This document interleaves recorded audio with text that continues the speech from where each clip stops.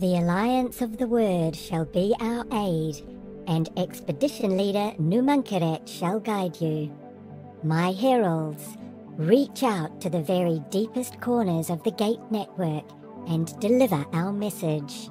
The Queendom has returned. The Boron are back in the X universe, and they're making a big impact. A strange jump gate has suddenly appeared in a neutral sector, which is causing anxiety among the different races of the X universe. To avoid any unforeseen complications, they dispatch an exploration team composed of members from various factions. However, with the factions typically divided, this joint effort is expected to be fraught with difficulties and disagreements. What kind of secrets and thrills are in store for you is a mystery yet to be uncovered. Join me on an exciting journey to explore the many wonders of Kingdom End. I, Numankeret, welcome you in my capacity as commanding officer of this expedition. As in previous expansions, there will be two different game starts, which will allow you to begin the story from different perspectives. However, these starts will merge early on in the game, and you will have the opportunity to play all of X4's storylines from there. No spoilers here. You will find another video later this week about the storylines and their specifics. Before we start, a short interlude.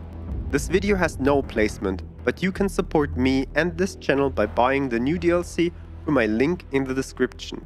It is for GOG and doesn't cost anything extra. You can use this link for any other games on GOG too. Thank you so much.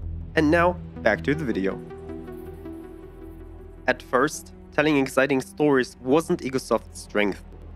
And many players missed it or even completely ignored the story because there were no earth-shattering decisions to be made. However, this has improved over time even though X is still not particularly known for its profound stories. The writing got better, and with Kingdom End, it's at its peak. The mystery of the closed gates is a well choreographed path, which, at the end, we'll solve the puzzle. Goodness me! It worked! I made the jump! Ha ha! Unbelievable! Unbelievable! Of course, we already know better who is working on the other end of the jump gate and we eagerly anticipate the Boron hopping, um, swimming, or flying through it. They are back and completing the X universe. Fall back! The energy is spiking. Bernd Lehahn, founder and CEO of Egosoft, has already commented on this in several interviews and said that the sectors are now complete. He explained this, among other things, in an interview on my channel, Captain Collins, which you're welcome to check out to learn more about X4. If the universe is now complete, is this the last expansion for X4? Bernd Lehahn says no, which I personally like because the focus will now be on improving gameplay or the stories within the factions. I expect to see many exciting ideas to address the previously mentioned weakness. But let's focus on the current status and take a look at what we can expect from the Boron. For the first time in the X series, they are fully interactive, and you will have the chance to learn about their unique civilization and engineering prowess. The Boron live in water, and their ships and space stations resemble organic creatures that you would find in the ocean. The Boron's engineering prowess is evident in their ship and station designs, which are more intricate than ever before. The ships and stations appear to pulsate with life, as if they are organic creatures riding on the ocean waves. The deep blue color of their vessels is mesmerizing, evoking a sense of tranquility and calmness that is characteristic of the Boron race. It's as if the ships themselves are meditating granting the onlooker a rare moment of peace and serenity.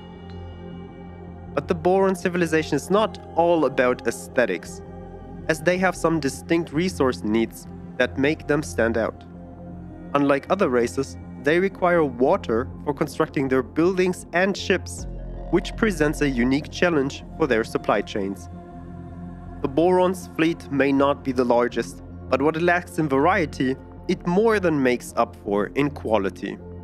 Two impressive carriers, size X and L, stand out as the crown jewels of their fleet, able to launch squadrons of deadly Mako and Barracuda fighters. If you are seeking Boron fighters, there are only a couple of choices, but they pack a powerful punch. The Mako, a nimble and agile light fighter, is equipped with decent weapons. But it's the Barracuda that truly steals the spotlight. With more shield energy than some corvettes and an arsenal of four potent weapons, the Barracuda is a force to be reckoned with.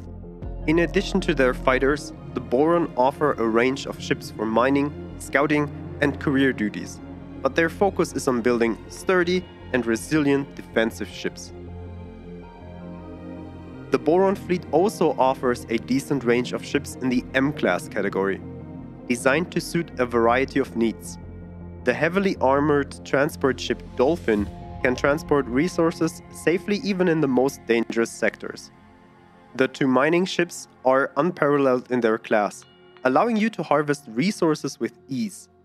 And for those who prefer a more aggressive approach, the Thresher gunship is a favorite thanks to its 8 turrets and impressive armor.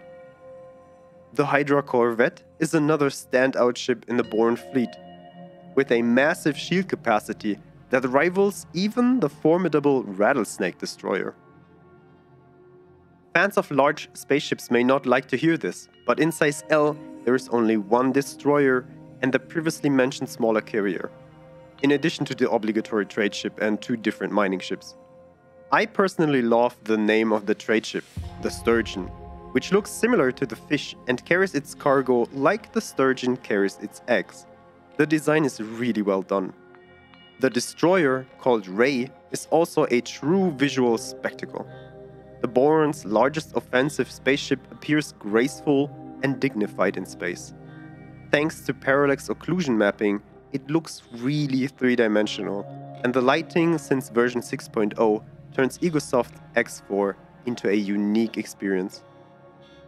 This graphic effect is one of the features of the overhauled X-Tech 5 engine of the space game.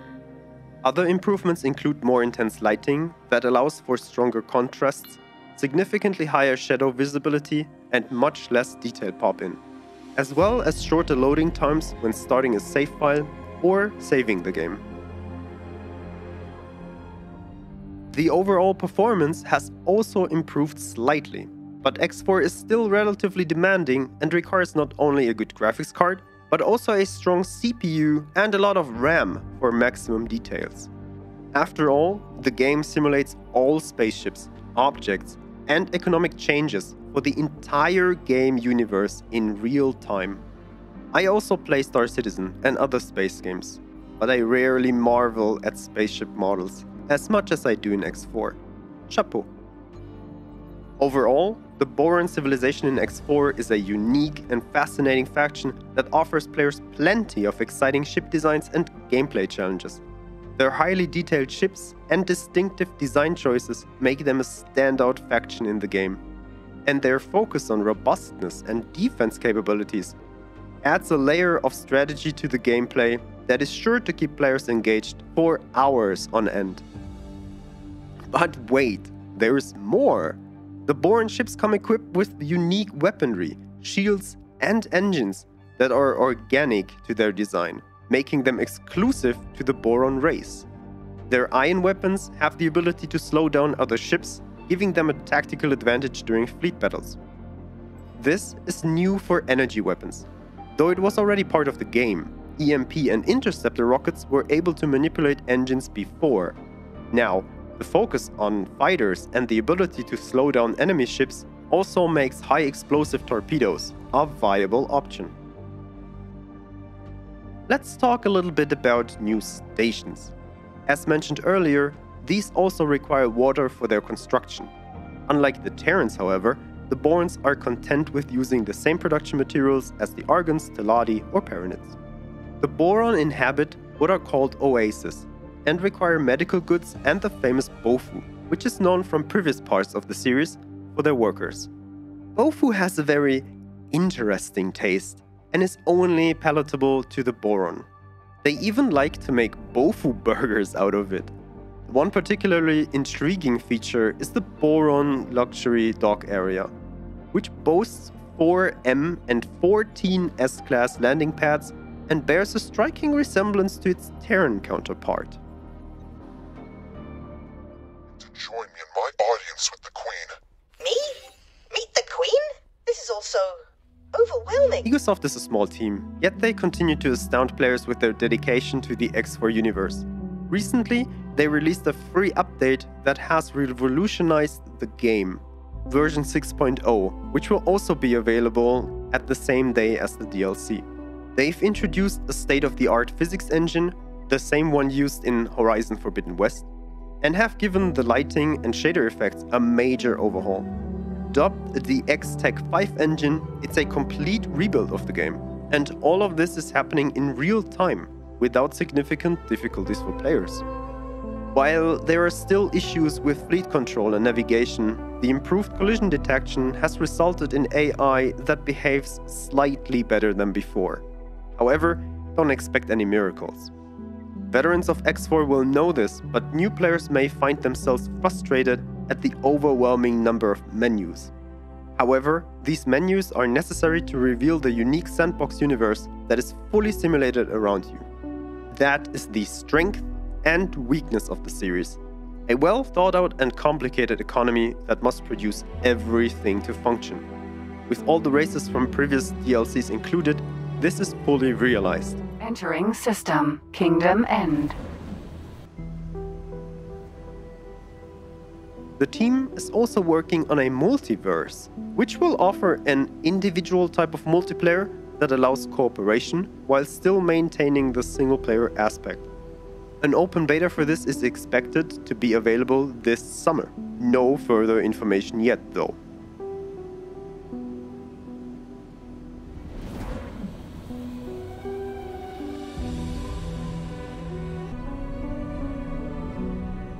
To wrap things up, it's clear that X4 Foundations is an expansive and intricate space simulation game that offers endless possibilities for players who are willing to invest the time to learn its complexities. With the release of the Kingdom End expansion and the ongoing development, there's never been a better time to explore the vast universe of X4. So, whether you're a longtime fan or a newcomer to the series, grab your spacesuit and get ready for an adventure like no other. And if you're wondering why I didn't talk about everything in detail in this video, that's because you will get a lot more videos during this week until launch. So thank you very much for your interest, and I wish you continued profits. And yet, you did not let these dreadful circumstances deter you. Welcome home, Boso Ta.